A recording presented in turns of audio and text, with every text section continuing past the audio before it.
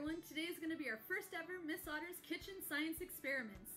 Today our experiment is going to involve milk, dish soap, and food coloring. Let's go ahead and get started.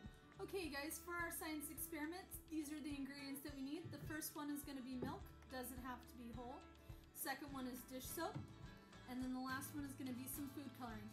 I'm using yellow and blue today, but you can use any color you'd like.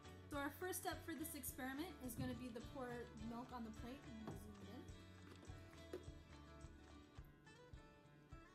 Want enough milk to cover the bottom of your plate. Next, you're going to take your food color and you're just going to put a couple of drops on there. So I'm going to go ahead and drop some blue. And then I'm going to go ahead and drop some yellow.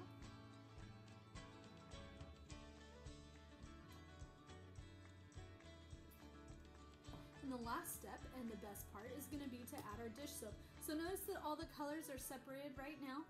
I'm going to go ahead and add couple of drops. Check it out. Why is it doing that? Alright Julian Mustangs, now that we've completed the experiment, your job is to Google search why does it happen that way? Um, I would like you to leave a response on Flipgrid and let me know what you found in your research. Also, if you have these materials at home, try it with water instead of dish soap and let me know what happened. Thanks for watching.